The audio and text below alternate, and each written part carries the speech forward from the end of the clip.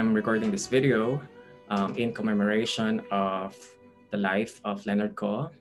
So this is also in time of the, uh, the 10th year death anniversary of Leonard Ko. So when did I first meet Leonard Ko? I first met Leonard Ko in the herbarium of the Institute of Biology. And that place is not, uh, not very surprising to find Leonard Ko there because he spends most of its, uh, his time there in the herbarium. But during the time when I was a graduate student at the University of the Philippines Institute of Biology, um, I had been always wanting to meet Leonard Ko because I heard many things about him from from Mam Len, who was my senior um, colleague in the Department of Biology at the University of the Philippines, Manila, and also from Sir Dan um, Lagunsad, who was my uh, thesis um, supervisor back then.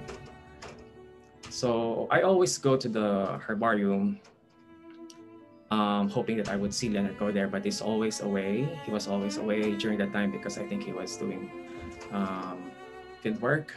And I always, I only see uh, Mang Ramon in the herbarium.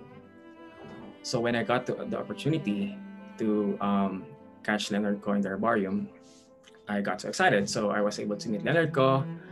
And the first question um, that he asked me when he first saw me was, "Are you in, really interested in plants?" so maybe, so I, I, was thinking maybe there were there were um, a lot of students before that you know who came to him and who are not really genuine who are not genuinely interested in plants. So I don't know. Maybe that was uh, at the back of his mind. But anyway, that was his first question to me. He was like, "Are you really interested in plants?" And I said, "Yes." And then after that, he showed me uh, a few herbarium specimens, and he just right away just um, told stories about that. And then he asked me to um, come to his table, and he showed me his computer, and he asked me if I if I have an external hard drive because he wanted me um, he wanted me to get um, the folders of his um, like many um, it, it's a, a, big folder of plant photos photos of Philippine plants and he wanted me to have those. And he asked me uh, do, do you already have um, an, uh, an identification kit? I was like uh, no I haven't got that. So he gave me a folder of uh, containing different documents like floras photos of plants um, to help and photos of um, type specimens like holotypes, digital um, uh, images of that, uh, in order for me to you know to help me in um, identifying plants. So through that experience, I was like, oh, this man is really, really good at what he's doing, and he really knows what he's talking about. He really knows his plants. And the other thing is, he's so passionate about it. And then after showing me uh, the photos from his laptop, he um, he um, we went to the to, to, his small library in the herbarium and then showed me some of his books and some of like uh, like uh, the flora of Taiwan, which is written in Chinese, so I, I, I cannot understand that. So I, I, he was showing me those books, and I can't remember if he was offering me some of those books to have but I think some of them are in in Chinese, so I don't understand it because it's Flora of Taiwan. So I'm not sure about that. But um, the point there was he was showing me all these books. So so Leonard Ko was so generous that he was willing to give everything that he has. Like he wants to share with me what he knows. I mean that that was the first time that we met. You know, he doesn't know me yet. That uh, he he doesn't know me that well yet, but he was just so um, interested in sharing what he has. And he's really passionate about everything. So the next question um, given to me um, as a guide uh, in making this video is your most memorable memorable time with him. So the first time that I met him, um, which was um, in the herbarium, that was my most memorable memorable um, moment with him because that was the time that he was just it was our first meeting and and yet he was so um you know, passionate about anything. He was willing to share everything that he has, share pho- photos of type specimens, of, of plant photos, and he would always talk about some of the plants and all of that. He, he's just willing to share everything. So that meeting, I was, I was like, I was, I was just marveling at this wonderful person who is really good at, at, at botany. And I've never met, met a person like that before who is so good and so passionate about um, what he's doing. And that's what I like about Leonard Go because his passion was so contagious. And that's one of the reasons I joined um, Philippine Native Plants Conservation Society Incorporated. Um, um, it's a, it's uh, he founded that um, organization to advocate for the conservation of Philippine plants, and and through him, I I realized the importance of Philippine plants, that we need to uh, conserve our very own. Um, and also um, his passion and his um, his his botany skills and knowledge it's just so inspiring. So because i've never met a person like him before who was really good at everything i mean everything about botany and about philippine plants and his passion it's just so inspiring to, to meet that kind of person. So it just motivated me more to pursue doing botany studying philippine plants and advocating for um, plant a native plant um, conservation.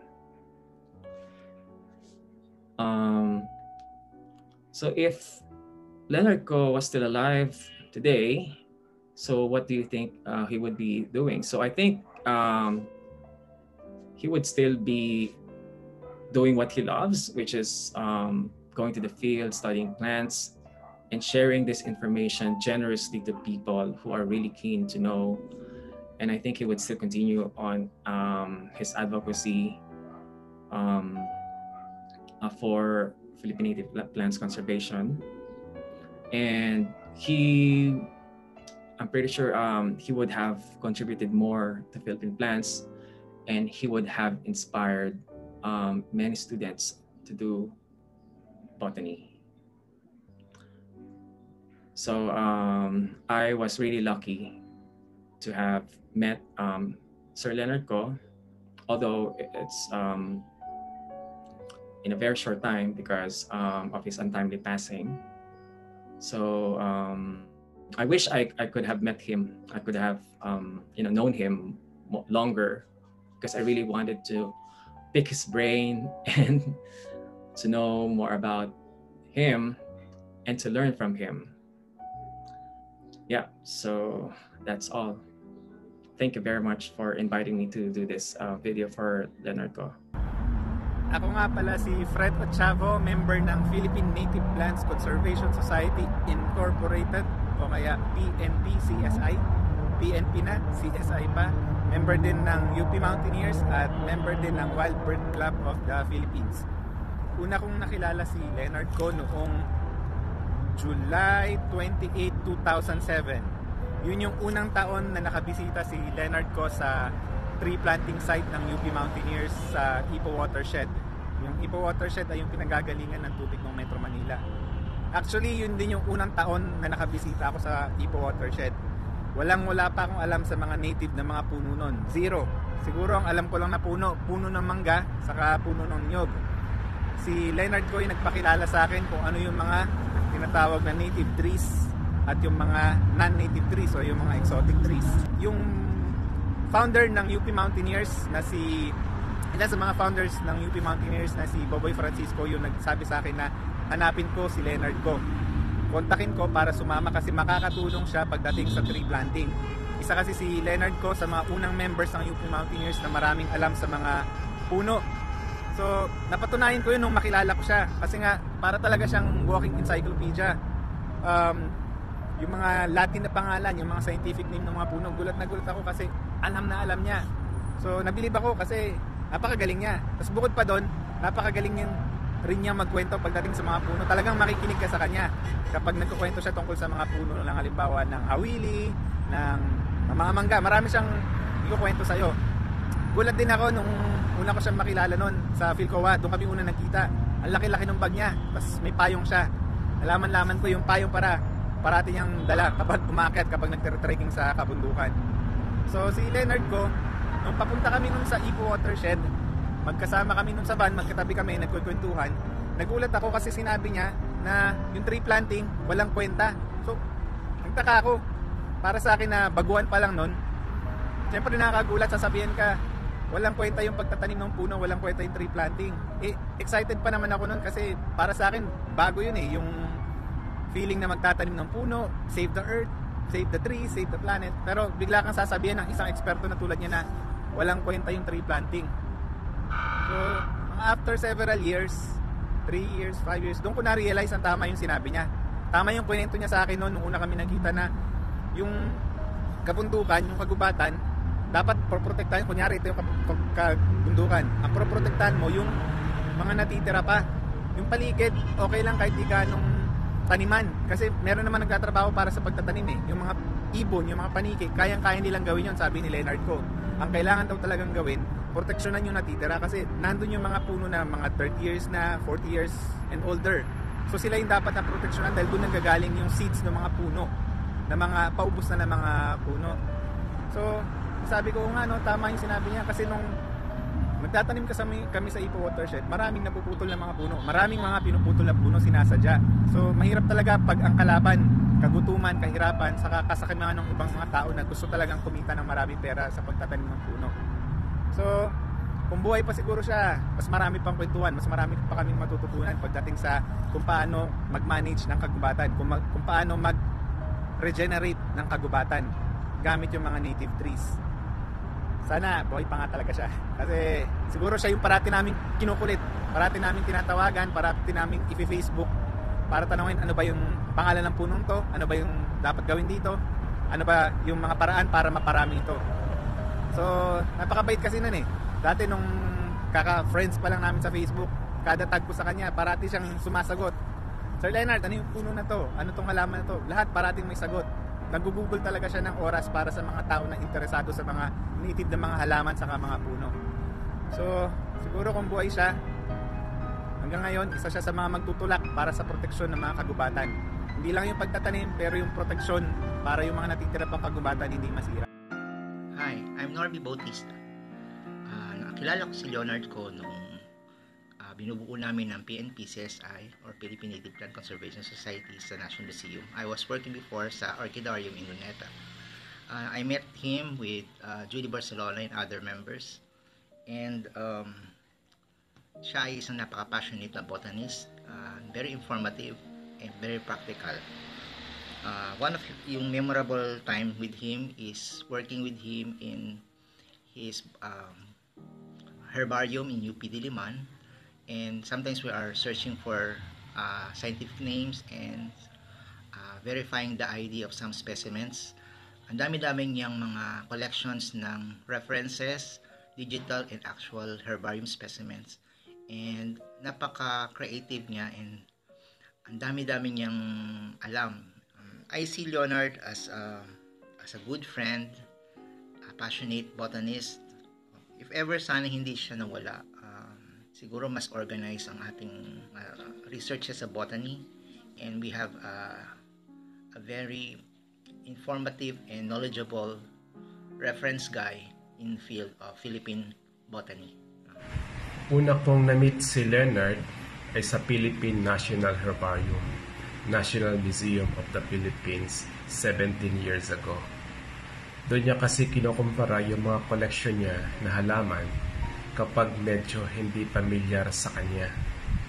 Dahil sa malimit niyang pagpunta sa herbarium, naging friend ko siya at minsan niyang iniimbitahan akong sumama sa study niya sa Sierra Madre. Kaya lang di ko siya napagbigyan sa kadahilan ng Monday to Friday ang pasok ko sa museum. Since naging friend ko si Leonard, I joined Philippine Native Plants Conservation Society. After a year, he established the society. Every weekend, I joined Leonard and other PNP CSI active members to document all the plants inside Ninoy Aquino Park's Wildlife in Nature Center na kung saan merong cottage doon that serves as office of the society. Kaming dalawa ni Leonard ang nahuling umuwi kasi uubusin niya pa yung copy niya. Then after that, magtuturons kami ng beer sa North Avenue sa tapat ng gate ng Paubi na BMB na ngayon. Napakabait na tao itong si Leonard. Kung gusto mong matuto tungkol sa plants, sama ka lang sa kanya. I would say, ito talaga ang passion niya. May nakapagsabi sa akin na professor niya sa UP Diliman, estudyante pa lang si Leonard, puro halaman na ang kinukutkot. Kung nabubuhay lang si Leonard, sa tingin ko, marami pa siyang matutulungang individual, pribado at publikong institusyon at organisasyon basta tungkol sa halaman.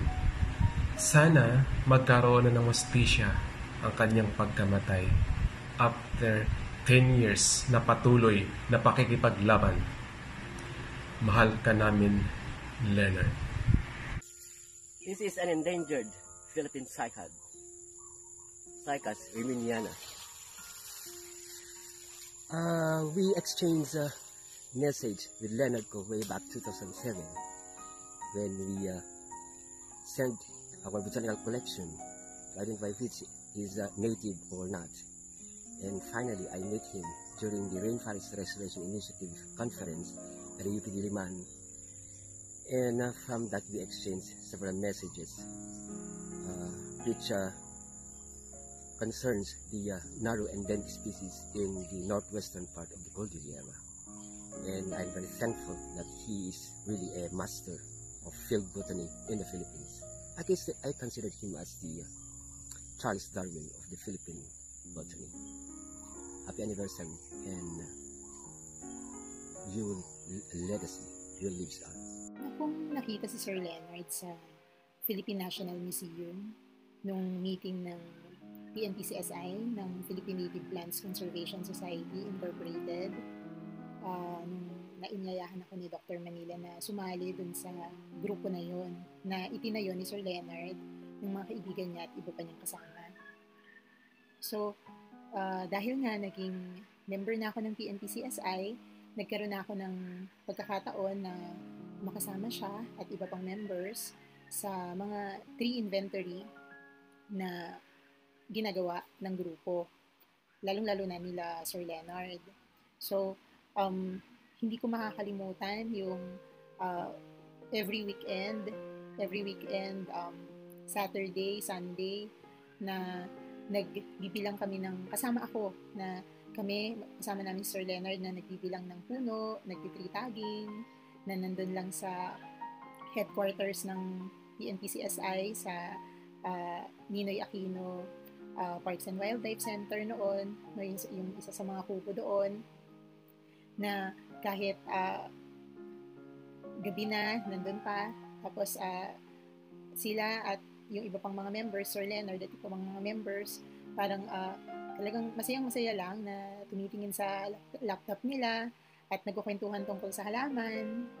So, ayun. So, isa pang hindi ko makakalimutan na um, nakasama ko si Sir Leonard nung uh, nakasama ako dun sa Mount Banahaw field trip na kasama yung mga estudyante niya.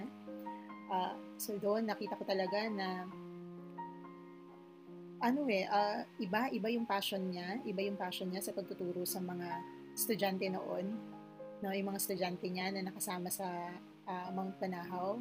Parang hindi siya, syempre napapagod din naman siguro si Sir Leonard pag nag-field work, no? Pero parang hindi siya yung tao na parang hindi mo mararamdaman na nabawasan yung uh, passion niya sa pag-aaral ng halaman at sa pag-share ng alam niya tungkol sa halaman kahit pagod na siya, kahit na madaling araw o gabi man, parang any time of the day, ganun pa rin yung intensity ng passion niya sa pag-aaral ng mga halaman at yung pag-share ng alam niya tungkol sa halaman sa kahit sinong taong makita niya. Ayun. So, uh, si Sir Leonard, uh,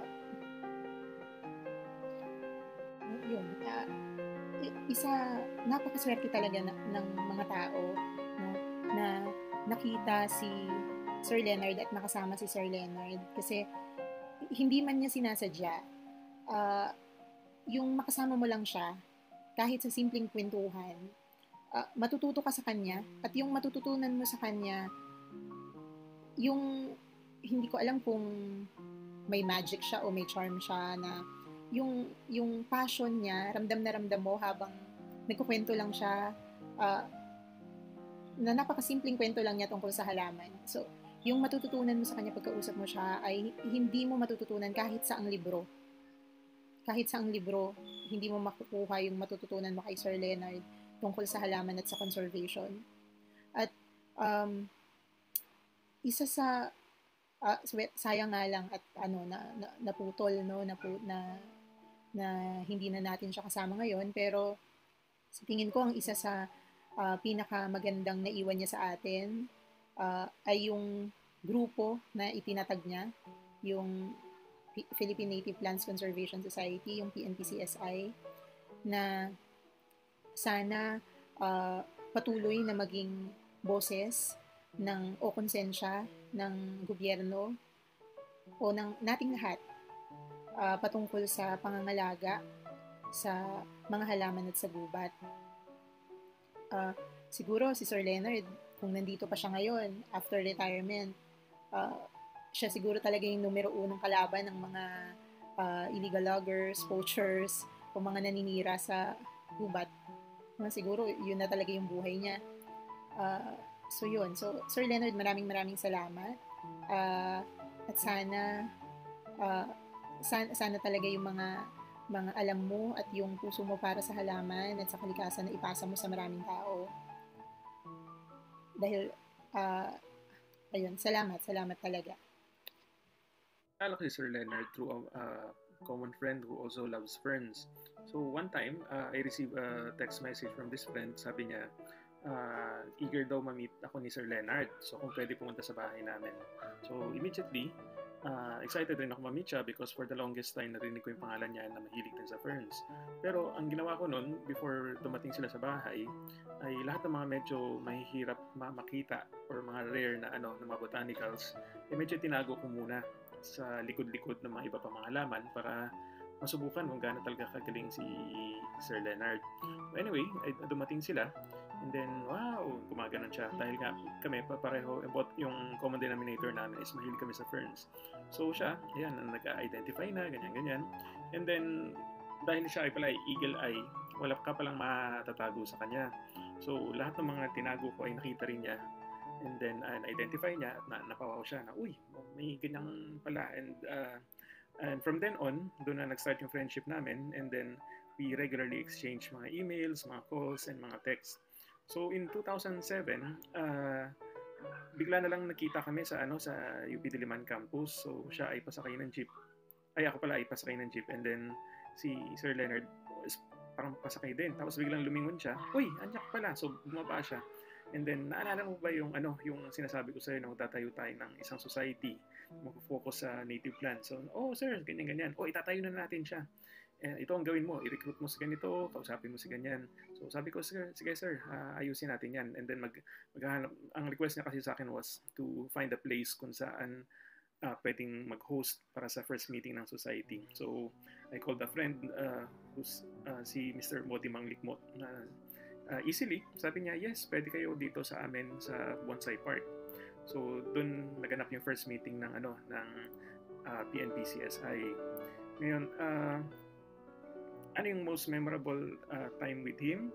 Siguro yung most memorable time with him is uh, every time. Every time in the sense na uh, siya kasi ay kakaiba talaga. Kumbaga, encyclopedic yung ano niya, yung yung memory niya, sobrang bilis mag-process, sobrang galing sa halaman, very passionate. At talagang solid yung ano niya, yung dating niya.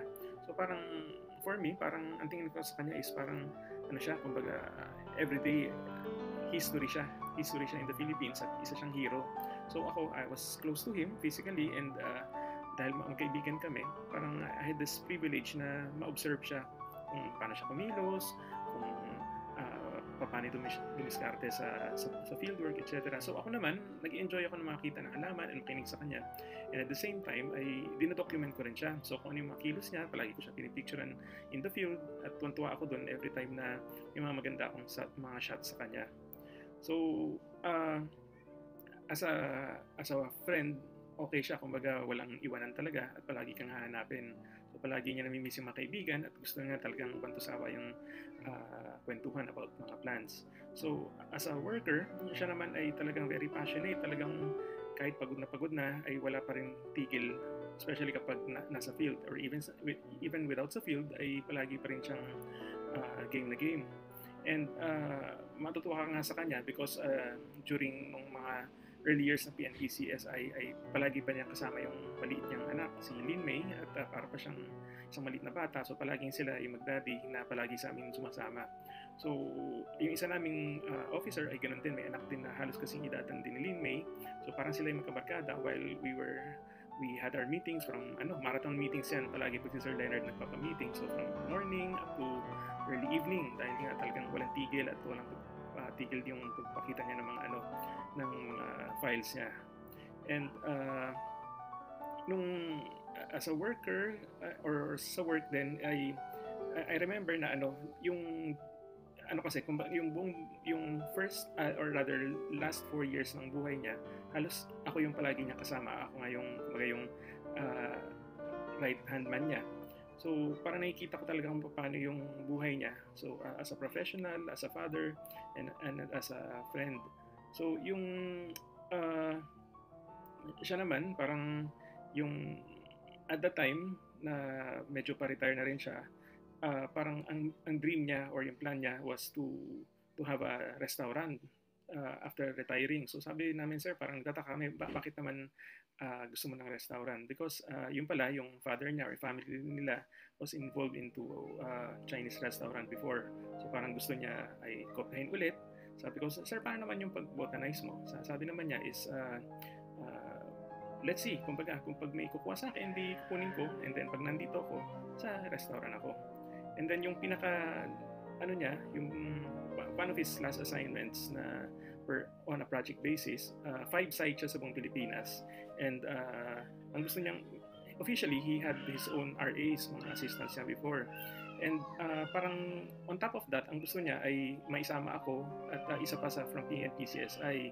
So, sabi namin sa kanya is, sir, parang medyo mahirap kasi uh, unang-una ay mahaba yung periods na nandun sa field and then pro bono din siya. And uh, yun nga, kumbaga uh, unofficial kami na magiging part ng project. Pero sabi niya, hindi, ako bahala. So, uh, ang, ang sinabi na lang namin sa kanya, sige sir, out of five, uh, magsama tayo sa isa, at least kahit sa, kahit sa isa. Pero hindi na nga nangyari yon So, uh, kung siguro kung natuloy yun, na napasama kami sa Leyte, so siguro naging iba yung story din nung, nung ano, pwedeng naging tragic, pwede rin naging successful, or posible din hindi nangyari. Hi, this is Mike Tan. Nandito ako sa Pantalan sa isang pulo uh, kasama kong aking anak na si Asha at si Chichi. Mm-mm. Ayan, uh, the other day on my way here, na may natanggap akong text galing kay Glenda, yung tatanong kung pwede akong mag uh, selfie video. Actually, nagtanong siya kung pwede mag video at mag ano dito ng ng remembrances about Leonard, no? Or Leonard or Leonard naisip ko nga, sige nga, tamang-tama. No? By coincidence nga, uh, may sinusulat akong libro ngayon kasama ng isang Dutch uh, colleague uh, tungkol sa mga halaman. No? It's a cultural history of plants na ginagamit bilang pagkain at saka mga uh, bilang gamot nga. No? And of course, Leonard is going to appear in the book. No? I will always remember Leonard as uh, one of the best botanists that the Philippines ever had. And of course, when I first met him, di, medyo medyo malapit naman, hindi naman ganun kalaking agwat ng age namin. No? But he was, he was younger and he was very, very much into ferns. No? I still remember. Pero uh, nagkakilala kami kasi pareho kaming nakakonect sa mga community-based health programs. And uh, I had worked on medicinal plants earlier in the 70s. Sumunod naman siya sa Cordilleras. And that was where I saw kung gaano kasinop ang trabaho nga ni Leonard. No? Yung, we went out to the field only once, if I remember right. No? And ang masasabi ko, parang bloodhound siya. No? Yung laging nakatingin nga sa, you know, he always looked at the ground, always looking for plants. And he would identify them. It was just so very amazing. No? Eh pareho kaming Filipino-Chinese, Chinoy nga. And he was very interested in Chinese, traditional Chinese medicine. So, he would combine his field work naghanap siya ng mga halamang gamot nga no? And he would compare it kung ano ang research na ginawa na ng ng mga Chinese no? And it all appeared in his ayan mga supporting cast ko dito no?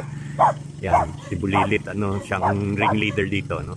Anyway uh, so sa libro niya I think it, it's considered a class should be considered a classic not just in botany but also in uh, in pharmacology no? In, in in the study of traditional medicine. Kasi nag-ano din siya dito ng ng information tungkol sa paggamit sa China nga no? Including the traditional classification. Eh pareho kaming hindi naman ganong kagaling sa Chinese pero we we had to study no? Chinese again so that we could understand the terms in chemistry in medicine and all that no? Nakakamiss nga si Leonard uh, when I think about it, I was so shocked when I heard about his murder nga. 10 years na pala ngayon. And I cannot help but think that he he would have continued as a mentor, nagtuturo nga sa mga estudyante. And he would have con continued, of course, with the research. He was in Conservation International. There's so much he was doing. And there's a whole vacuum left behind uh, by his murder nga. No? And I think the best thing we can do, kaming naiwan nga, uh, whatever field we're in, is to continue the work he did and also to remember him. Hindi ako umaasa na makakarating ang katarungan dito, sampung taon na. Uh, but we will not stop fighting for the justice for Leonard nga. No? But I think the, the greatest thing we can do for him is to continue what he started in terms of appreciating our own plants, our own medicinal plants nga. And to do whatever we can, not just for medicinal plants, but for the bigger context there of uh, conservation and of continuing uh, whatever wisdom there was to expand that wisdom so that para mas maraming makikinabang dito. Sige, mag-ano ako dito ng para makita ninyo ako dito. Naku, nasan ba yung ano? Hindi ko makita kung saan ang wala na rin ang anak ko na ano uh, hindi ko makita ang pang pang ano ng selfie pang reversal. Okay lang yan. I will send a still photo that can be a one shot very very quick shot. No, maraming salamat. Mabuhay si Leonard. Uh, ako si Emil Sutalbo bilang isang nakatatandang kaibigan ni Leonard ko. Nasaksyahan ko ang angking tiyaga, talino at kakayahan niya sa larangan ng pananaliksik sa pagtuklas at paglathala sa agham ng mga natatanging halaman sa bansa. Sa mga nalalaman niya, siya ay di madamot. Di niya pinagkakait na ibahagi sa mga mananaliksik, guro, estudyante at mga kaibigan na kusang loob ihayag at ipabatid ang sagot sa mga tanong nila. Yan si Leonard Ko, isang payak at simpleng tao. Sa kabila ng natatanging karunungan niya ay mapagbigay, kaya siya ay lalong nagiging popular sa madla. Sa di ko malilimutang karanasan namin sa Mindanao noong 1980. Sa aming lakbay pananaliksik, siya noon ay nakakayat sa isang malaking puno o di namin nakalain at kinuha, ni, kukunin, kinuha niya ang isang hanging ferns sa sanga. Subalit siya ay nagpanik sa itaas, di siya makababa at sa tulong ng aming mga kasama manggagawa, siya ay nakababa rin sa puno. Ang isa pa rin naming uh, karanasan sa Mindanao sa Project Vegetation sa maghapon namin pagod sa pag-uwi ay namin sa tinutuluyang barak. Siya ay nagpaiwan sa tabing ilog upang mangolekta ng specimen. Siya ay aming pinahintulupan dahil malapit na naman noon sa barak. Subalit nakapaligo na kami, nakapagmerienda na at nang kakain na kami, ay doon lang namin nakitang, di at noon namin nakitang siya ay dumating. Parang hindi napapagod, masaya na maraming dalang specimen. Noong namin masabing at nakita na ang dami niyang nakolekta ay masaya. Talagang ganoon si Leonard, maligayang maligaya kung may naki, mak, nakakolekta ng magandang halaman. Sa herbarium sa herbarium office sa first floor ng Pavilion 4, dito siya namamalagi. Dito, di na siya umuwi. Ilang araw na siya doon. Ang kaalayaw na lang niya ay kape at sigarilyo. Matyaga ang kanyang pananaliksik, pagsusulat. Sa, sa DJ pag-uwi, siya ay aming nadadalhanan ng pagkain mula sa kasaa. Isang patunay na ang pagmahal niya sa agham na kanyang napili ay talagang kanyang ginawa ang lahat.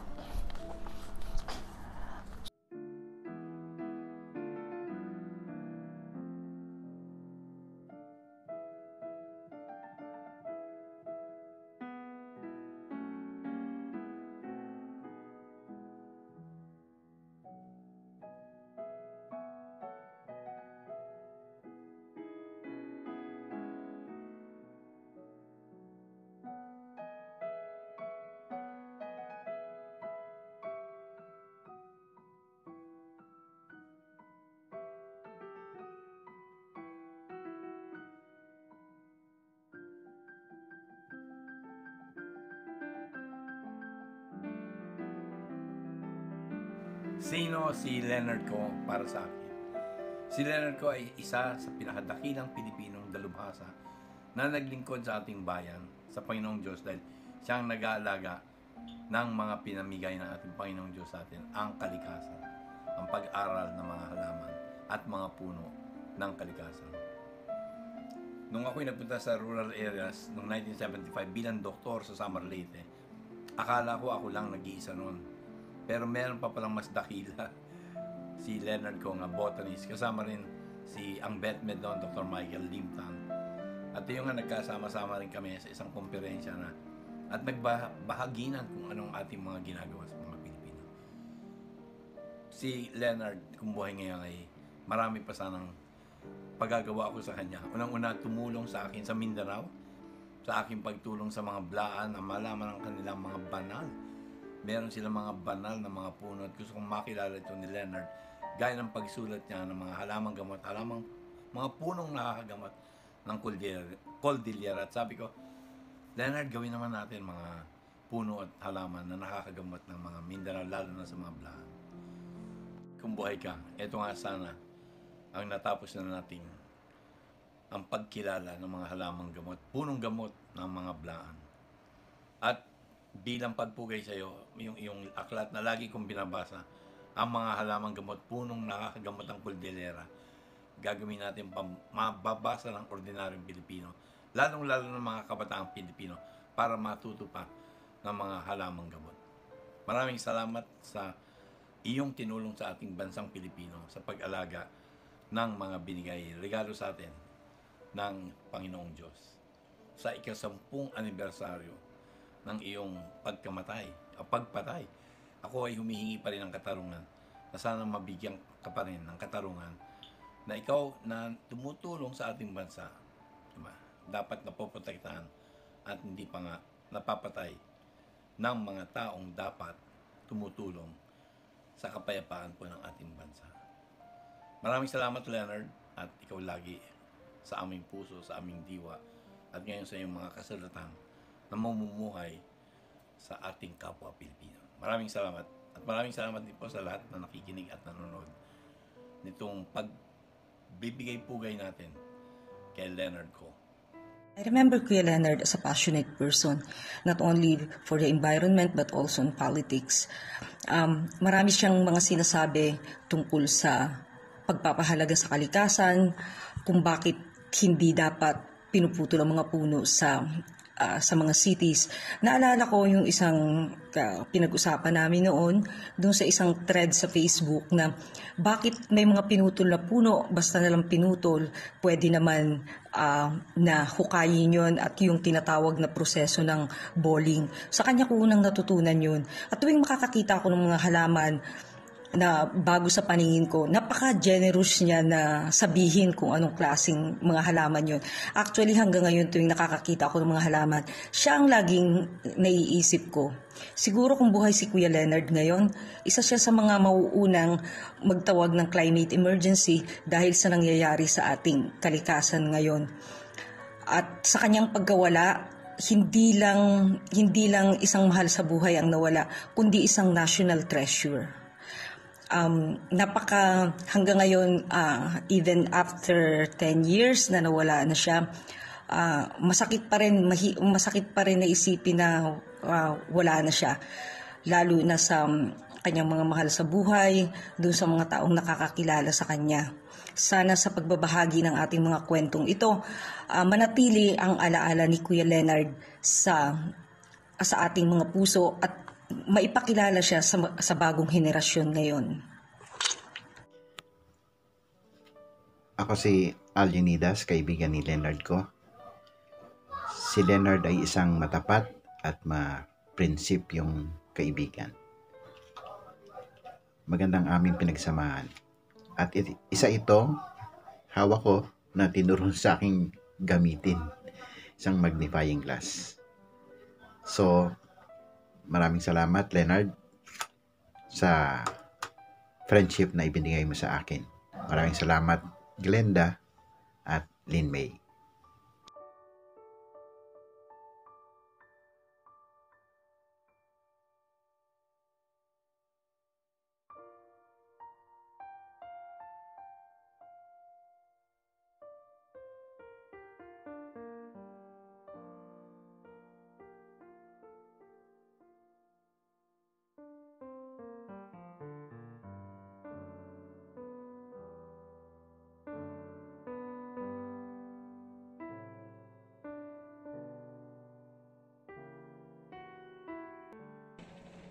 Good day, maayong adlaw, magandang araw.